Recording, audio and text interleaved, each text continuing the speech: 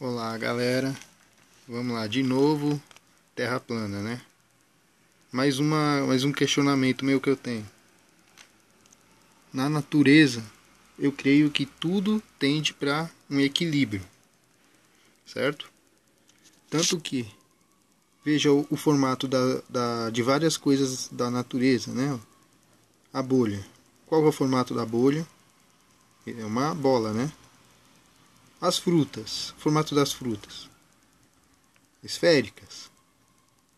Do raio bola, que é um fenômeno raro. É uma esfera também, uma bola. A lua é uma bola também. O olho também é uma bola. A pérola, a mesma coisa. E a gota? Gota também. Gota, quando está caindo, ela fica naquele formato de, de gota por causa que ela está caindo. Se ela não estivesse caindo, ela seria uma bola. Ou seja, tudo tende para o equilíbrio. E o equilíbrio não é o, não um plano, um côncavo, um, um quadrado. Isso não é equilíbrio. O equilíbrio da natureza tende para ser esfera.